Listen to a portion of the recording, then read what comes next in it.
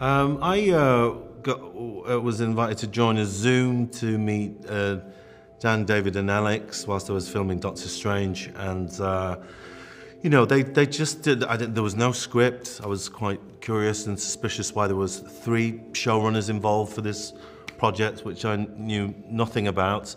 And then they sent me a character breakdown, and you know it was like parents from Hong Kong during the 70s.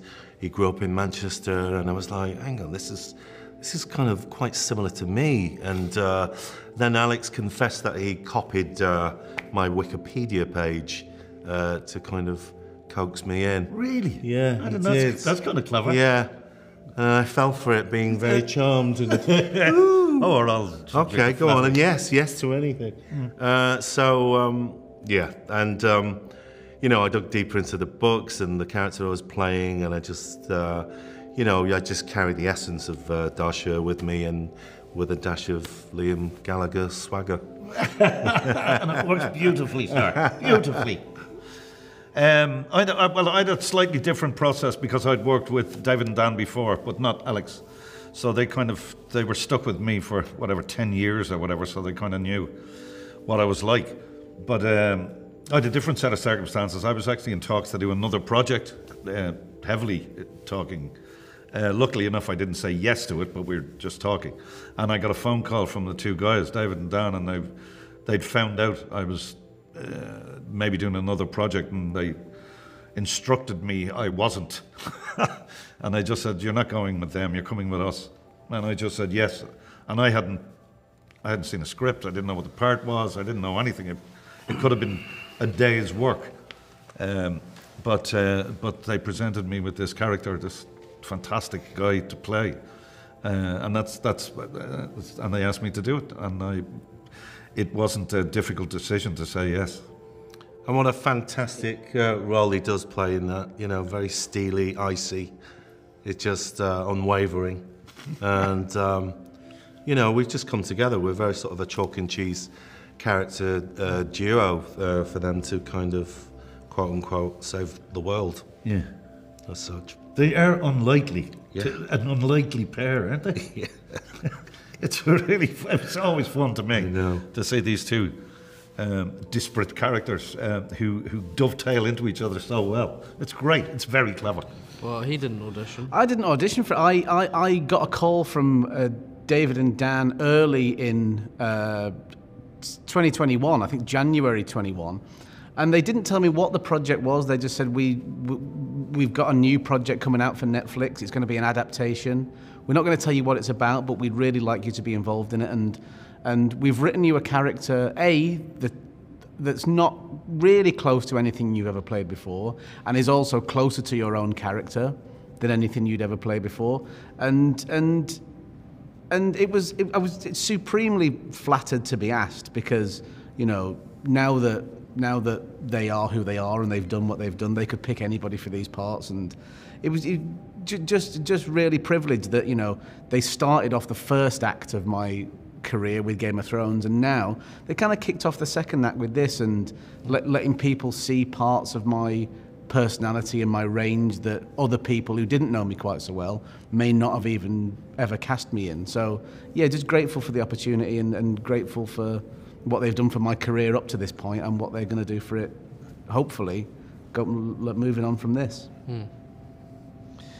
Yeah, I, I, I auditioned. Well, I got my agent tour sent uh, sent me a request to make a self tape, and um, she was like, "We don't know what it what it is. We don't know what it's about. We have no information. We're not, you know." It was like very very sort of mysterious and vague, and I was kind of like, "Well, I don't I don't really I don't like do TV." Um, and uh, but she was like, no, but like uh, it's it's Benioff Weiss and Alex Woo who are doing it, and I was like, oh okay, I'll uh, I'll make that self tape. Um, and so yeah, I made a self tape at home, and then um, I was actually in quarantine. I'd just flown over to England, and I was like in quarantine in the countryside near my mate's house um, about to shoot this movie I did called Living. Uh, when I heard that they'd liked the tape, but they wanted to meet me um, just to chat about it and see if it's a good fit. And the Wi-Fi in my um, in my quarantine Airbnb was broken. So I, but my yeah, my, my mate lived nearby, but his wife was pregnant, and we were all terrified of COVID. So I called him and I was like, "Can I come over and like stand outside your house?" so he put the Wi-Fi router in the window, and I drove my 20-year-old Renault Scenic over and pulled up right next to the window and and had my meeting with uh, Alex, David, and Dan in my truly dreadful car. Um, but it went well enough that they uh, they gave me the job, so I guess it wasn't too bad. But yeah, it was quite stressful. Oh, um, well, before I auditioned, I actually met the guys uh, at their office in Los Angeles just so they could explain the world that we were walking into because it is such vast and complex material that I needed the help to be able to just to understand the, the science and then how they were planning to adapt the project. everyone does. so yeah, after you know, it was it was a traditional audition process. You know, you send in your tapes, and and then my final one, I believe, was a chemistry read with Alex Sharp. Uh, that was kind of like the deciding factor, as far as I know. That's whatever they say is, is, you know. Yeah. so it was it was it was a traditional process for me. I don't know if it was different for for. Um, almost, but more digital because I live in Aotearoa, New Zealand. So I was actually, and this is COVID time still when we were auditioning, so I couldn't actually fly over to meet them because I would be locked out of my country.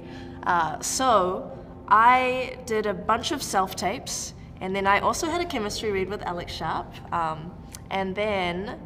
I met the guys on Zoom just to chat. They just wanted to get to know me. And then my final one was a chemistry read with Saamer Usmani, who plays Raj.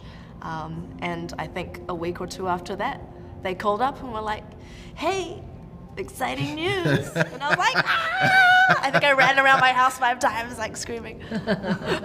I think I did the audition. She is invited. Well, no. Yes. So mine was a meeting. I had a meeting with them, and if I'm really to be honest, I wasn't very nice to. I feel bad because I was. I wasn't very nice to David. Stop. at You're always nice, no, I really wasn't because I like the just. sunshine. I just, you know, I, I broken my arm. The, it was the first day my cast was off, and I was like, ugh, I have to drive to go see these guys. And he reached out to shake my hand. I was like, you know, I was not, I was a little, it was probably the grumpiest I've ever been. Um, but it was good for, yeah, I guess, because I didn't know who yeah was at that point. And then yours? I I I did like a huge audition. I didn't know it was like for Netflix. I didn't know for Three Body Problem even.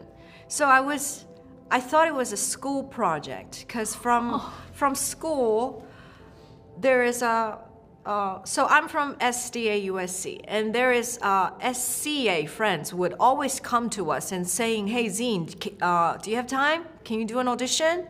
I'll always be like, "Yeah, I always have time for auditions." So I said, "Yeah," and I got into the audition call, and my casting director he asked me, "Zine, do you have like eight months of your?" Uh, uh, for for the shooting period. I'm like, what in earth a student production could take eight months to film?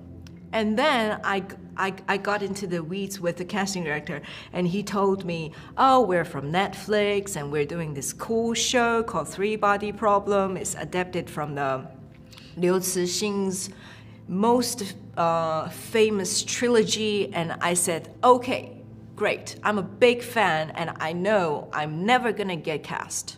So why not just do it and have fun?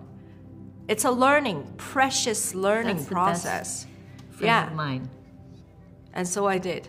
That was my first audition story. This bitter earth